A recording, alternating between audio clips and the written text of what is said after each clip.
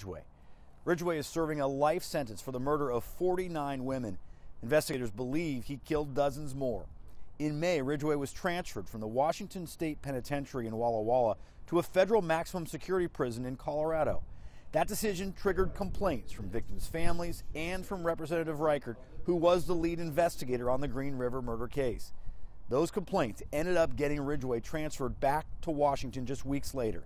Today, the Secretary of Corrections said the move was purely for security reasons. We really referred him to ADX as a matter of increasing the security around Gary Ridgway and increasing the, uh, mitigating the possibility that he could e either escape or potentially harm our staff. He's a coward. He attacked 15 year old girls from behind and choked them to death. He's not going to attack a prison guard. It was the three hardest days of my life, to tell you the truth.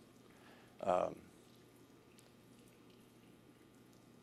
but that's the kind of thing that you have to do.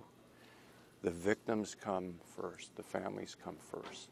The people who are tied to this case and have the images of those scenes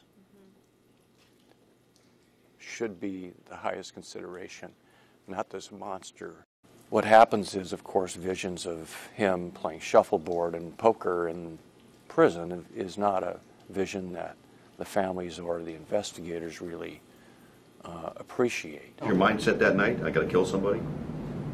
Yeah. As we go by where Kings was, you know.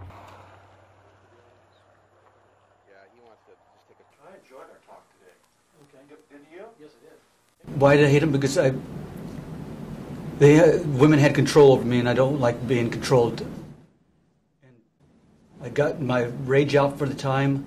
Ridgway was finally arrested uh, and uh, and pled guilty and went off to prison. The families felt like, and so did the investigators, that justice had been served.